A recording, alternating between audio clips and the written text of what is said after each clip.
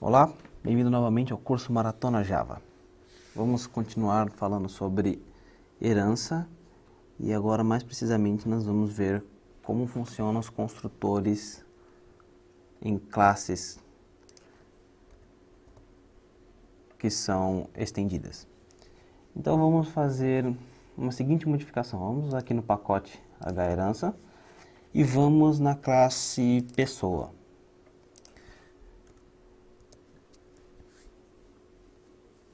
Se nós olharmos bem a nossa classe pessoa, nós não temos nenhum construtor nessa classe. Significa que o Java adicionou aquele construtor default, que é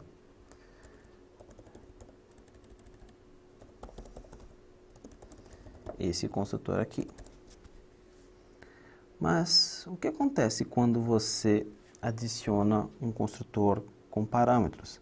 Lembre-se, quando você adiciona um construtor com parâmetros, o Java não vai adicionar esse construtor para você. Logo,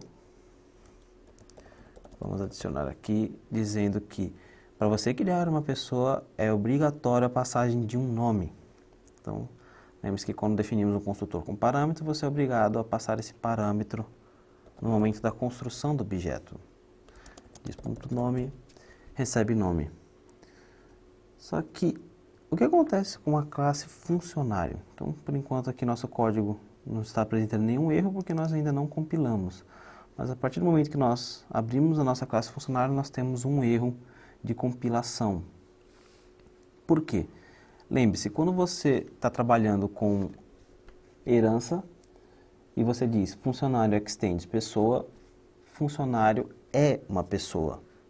Se você diz aqui na classe pessoa que para criar uma pessoa você precisa de um nome, o mesmo é válido para funcionário significa que funcionário é uma pessoa e para criar um funcionário você precisa de um nome. Então, o que você precisa fazer é, se você criar um construtor diferente do padrão na superclasse, você é obrigado a dizer na subclasse que construtor você deverá chamar. Então, por exemplo, por aqui, é, public funcionário, então nós não temos nenhum nome aqui. Então o que nós temos que fazer é dizer aqui que nós também precisamos de um nome para criar um funcionário e eu preciso chamar o construtor da superclasse. Como é que eu faço para chamar? Lembre-se, quando você tem um construtor sobrecarregado, vamos aqui na classe pessoa, imagina que nós temos um outro construtor aqui que tem nome e CPF. Diz ponto CPF recebe CPF. Como você faz para chamar um construtor da própria classe para não repetir o código? Ora, você chama diz passando o argumento que veio aqui entre os parênteses. Então, dessa forma, usando diz, nós estamos chamando o construtor da própria classe. Então você vê que o diz ele sempre está relacionado a própria classe que você está trabalhando, o próprio objeto. E como é que nós devemos fazer para chamar quando você está trabalhando com um objeto da superclasse? Você está trabalhando com uma classe superior. O super, logo, nós podemos chamar aqui super. E qual é o construtor que eu quero chamar aqui? É o que tem nome ou nome CPF. Então, se você apertar Ctrl P, ele vai oferecer para você aqui duas opções. Ah, o construtor que só tem um nome e o construtor que tem o um nome do CPF. No nosso caso, nós podemos chamar o nome. Então, dessa forma, você está cumprindo o que é necessário para se criar uma pessoa. Se o funcionário é uma pessoa, e para criar uma pessoa você precisa de pelo menos um nome, o nome, o CPF, uma opção, você deverá chamar super passando o argumento. Então o Java ele vai identificar qual é o construtor de acordo com o tipo dos parâmetros que você passar aqui como argumento.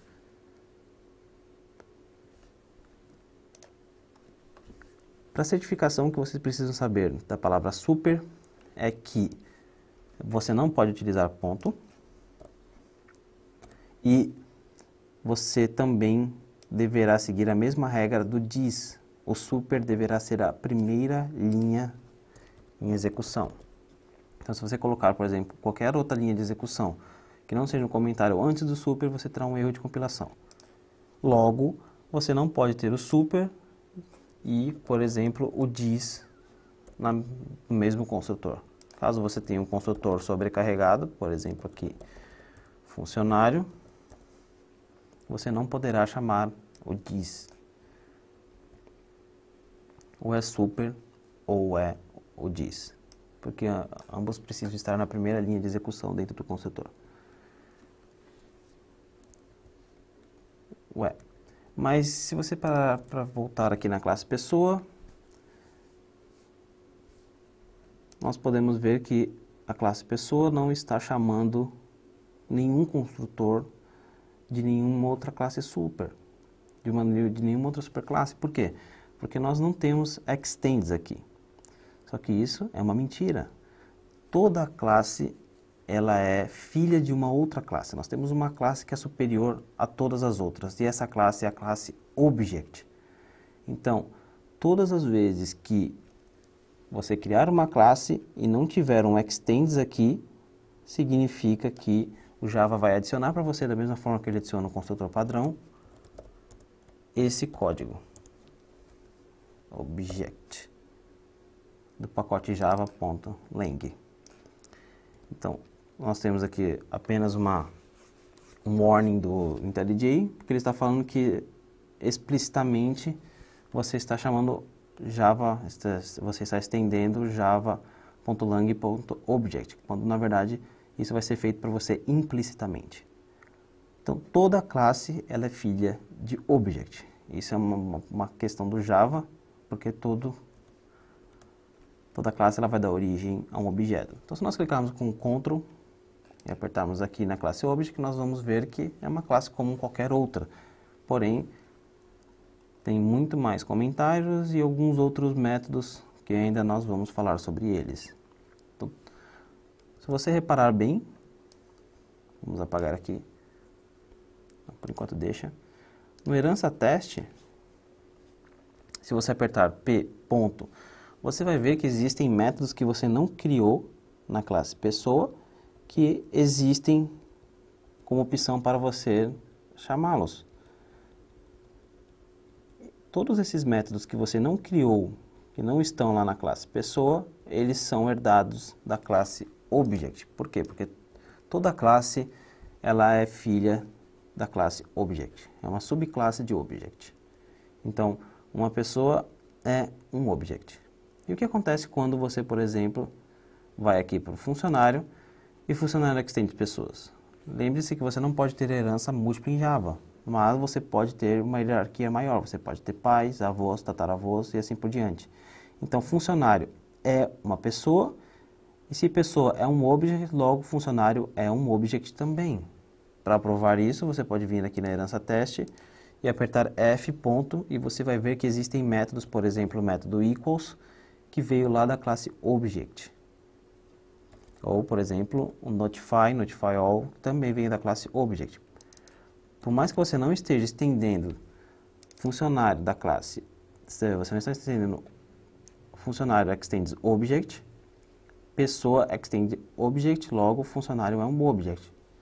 Então, todos os métodos que tem da classe pessoa que for herdado de funcionário são passados para todos, perdão, todos os métodos que foram herdados da classe object em pessoa são transferidos também para a classe funcionário.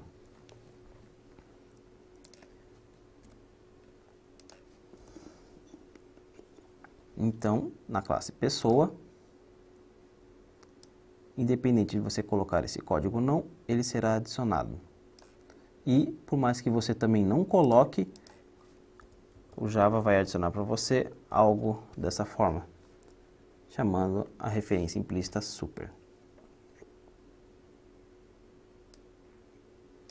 Vamos remover isso porque não faz sentido agora para nós. Então, tomem cuidado na hora de criar construtores quando a classe ela for estendida, porque você precisa ter certeza que a subclasse irá ter que cumprir as mesmas regras que a superclasse. Então, se nós voltarmos aqui no herança teste, nós podemos pegar esse nome aqui e passar para cá. E do funcionário, a mesma coisa.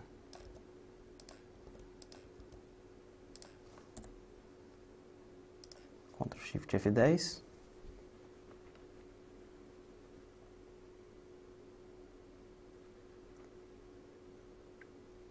Nós temos um errinho aqui. Que é na classe endereço nós estamos fazendo teste, é só apagar isso e isso. Na verdade, apague todo o método da classe endereço. E novamente, Ctrl Shift F10.